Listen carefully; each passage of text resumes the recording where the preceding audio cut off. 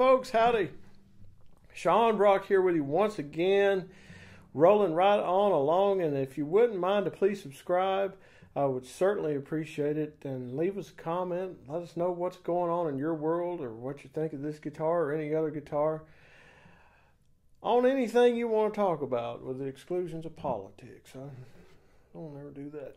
Today we got a very, very special one uh, from a very well known and revered maker, repairman, restoration expert, Martin guitarist historian, and I talk about Mr. John Arnold, Newport, Tennessee. And he is one of the uh, fine luthiers representing the state of Tennessee in this collection. There's a decent passel of them there. And John, of course, is legendary for just his his abilities and his knowledge in the world of guitars. And I don't think you're going to be disappointed. I think you give this thing a listen and you'll know why he is uh, so well thought of. And of course, this is a part of the Sunburst D18 collection, the USA Luthier Sunburst D18 collection, owned by Dale Owen, Brevard, North Carolina. Brevard, North Carolina. And if you get over that way, uh, see the description box. If you'd like to run by and play these, he would be more than happy for you to do it. He says that he's going to bring these down to Spigma and uh, some of the guitar shows as well. So if you want to keep track of that, you can get in contact with him. Don't ask me, I don't know nothing. But anyway, let's listen to this fabulous instrument. This mahogany, the tree mahogany, by the way, one of three in the collection. That is the tree mahogany and uh, West Virginia red spruce from Mr. John Arnold.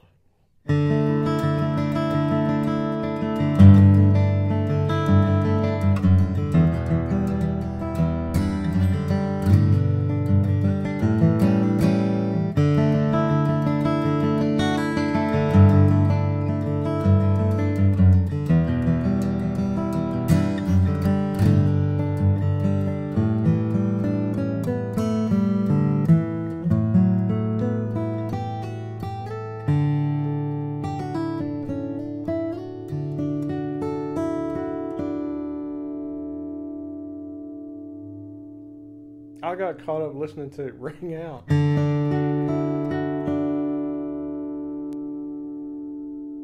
Very, very pretty. Very pretty. Check out the treble.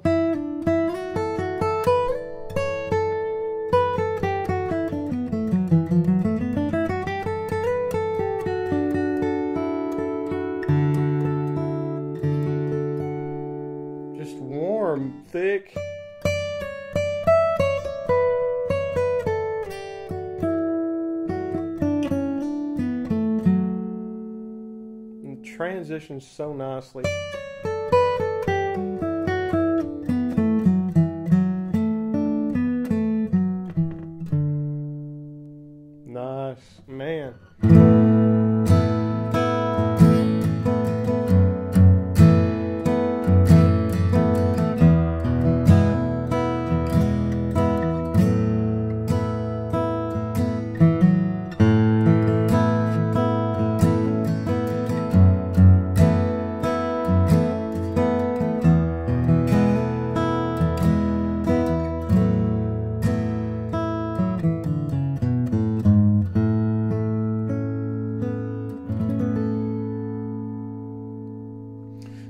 Guitar sounds very old in the tonally. It sounds really old, but it still has the sustain of a newer build. And this guitar, as I make this video, this guitar guitar is a little less than a month old.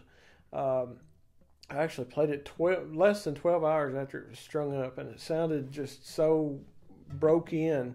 Uh, it hasn't gotten kind of the dryness to the tone. You still got overtones happening here.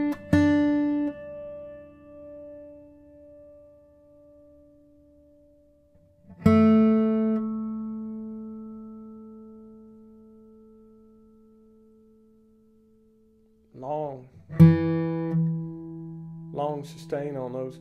you still got those, and just in my experience at least, it, you know, a mahogany guitar tend to try, dry out a little bit uh, and reduce a little bit over the as it lives through the seasons. Uh, everybody else's experience might be a little different. Check out the bass.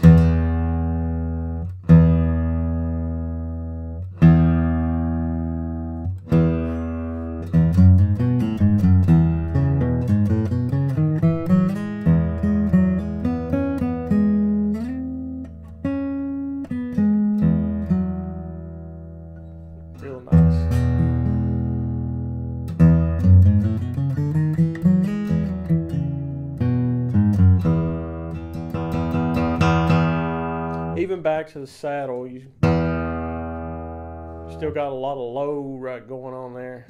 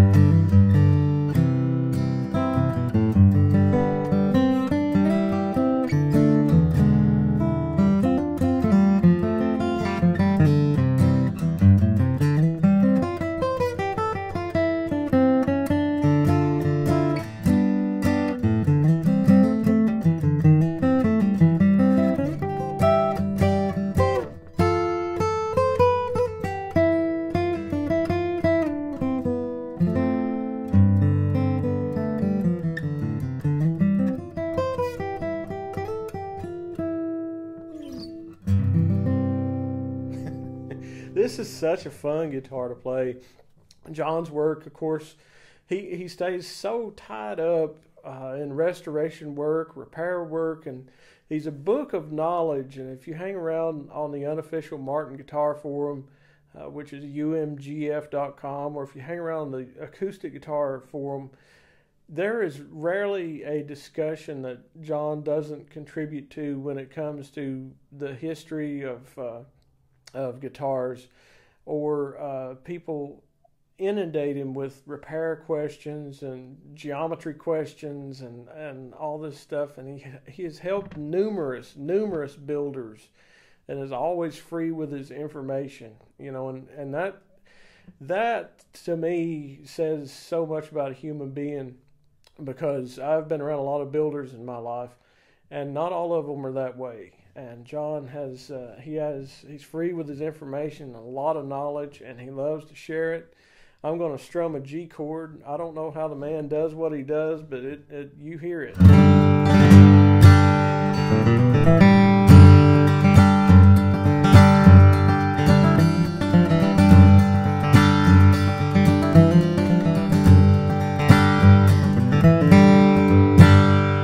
Just powerful, uh, great tone. I'm gonna grab the capo, and we've got the same pick on all of these. I made sure when we started these, I said, let me pick out the pick that has plenty of longevity in the same tip, which I have marked. Um, that will make sure we get through all these videos with this same plectrum, which is a 1.2 tortoiseshell. That's what we've used on all these collection videos. Key of A.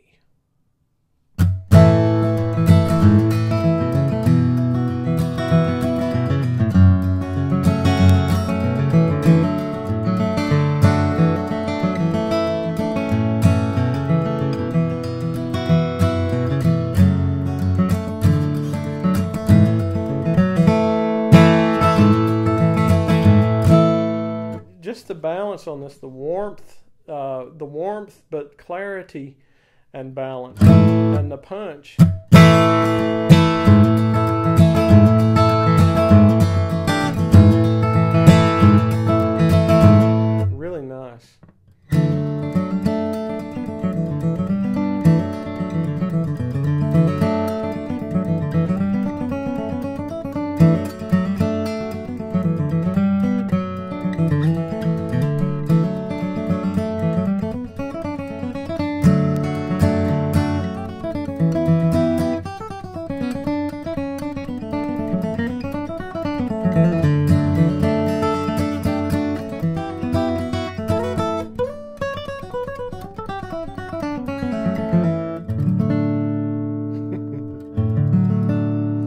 Make that stick out if you want to.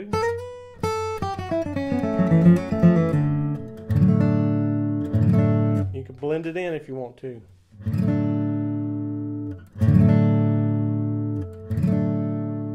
A lot of control here.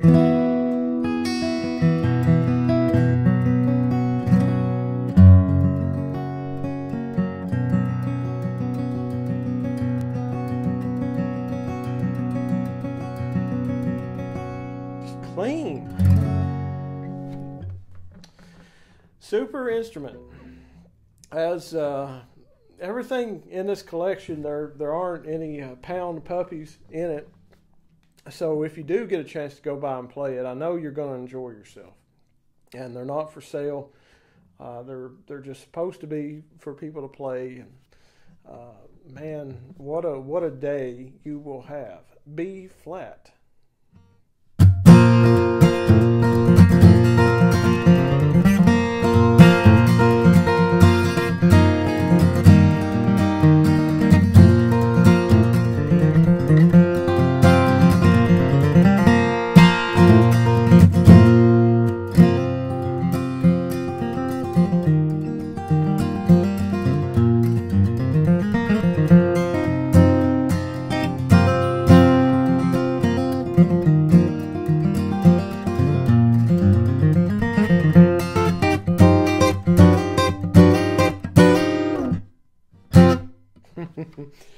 It uh, you hear it ring back to you real well off of the walls, which is always fun. At least uh, you know it's fun for the player. It, it, might not be fun for everybody else that lives in the house. B.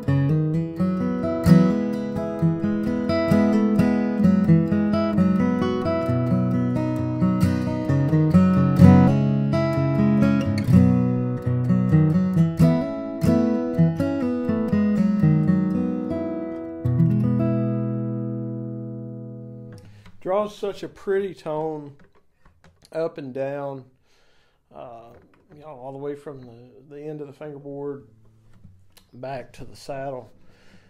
Let's try her out at the fifth fret here.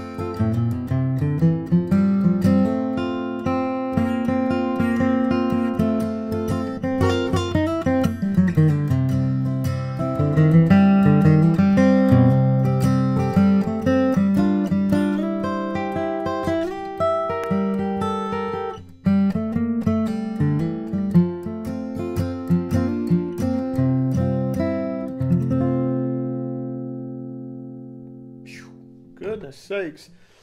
Let's hear some of these tone colors I was talking about here.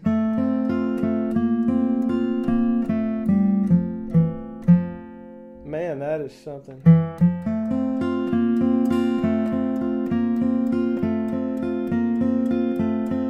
Just there to there.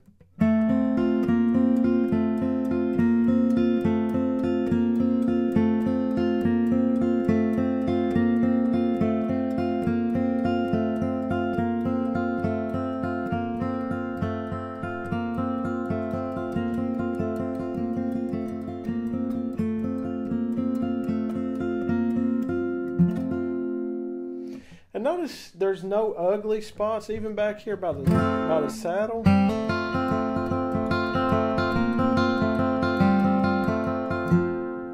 Or or in the extremes, you know, up here by the fretboard uh, extension, fretboard tongue. Sometimes uh, those areas in the extremes either require some playing or maybe don't develop to be quite as pleasant as as some of the areas say in this region you know between those two fingers. So if you get a little too close to the fretboard tongue or if you get a little too close to the saddle you get some funny stuff going on. Not the case with this thing right here john arnold but i didn't expect nothing uh, nothing any different out of him. So Okay, what do I know? Not much. One and three quarter nut. This is uh, a vintage style neck. Uh, I, I, would venture to say off of John's 37 plan. Dale, when he, he gave dimensions on the guitars that he ordered, not everything in the collection is stuff that he ordered. Uh, some things were would have been un, unattainable. Some some of the luthiers in there aren't making instruments anymore and whatnot. Uh, so when he had a choice, he gave uh, dimensions uh, for the necks, and he, he gave those off of the 37 John Arnold plan. And uh, I would imagine John goes with his own plan or kind of close to it. But uh, of course, this neck is just wonderful. Just the transitions on are, are great. Nothing, the flare, the taper is just real natural if you know for if you like vintage necks which i do. Thank you john arnold. Uh, one and three quarters two and five sixteenths at the bridge. Uh, ebony bridge slotted. Uh, ebony fingerboard. And uh, mahogany neck. The tree back and sides. The famed tree. Uh, one of three. Uh, john arnold wayne henderson joshua young made the three tree guitars in the collection, and uh, just beautiful, beautiful stuff. Just wonderful, wonderful. Uh, a bear to work with, I understand, but just absolutely, uh, you know, astounding. If you like figure, you can. It's uh, you can you can. It's like a Rorschach test. You can sit here and see all kind of stuff in it.